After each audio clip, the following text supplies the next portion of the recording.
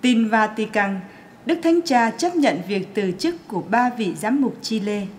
Theo tin từ ZX, hôm 11 tháng 6 vừa qua, Phòng Thánh Báo chí Tòa Thánh đã chính thức công bố Đức Thánh Cha Francisco đã chấp nhận việc từ chức của ba vị giám mục Chile có liên quan đến tai tiếng che đậy lạm dụng tình dục.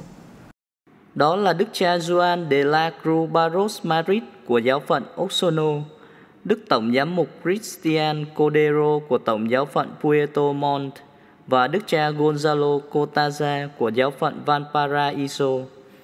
Đồng thời, Ngài đã bổ nhiệm các vị giám quản cho cả ba giáo phận nói trên.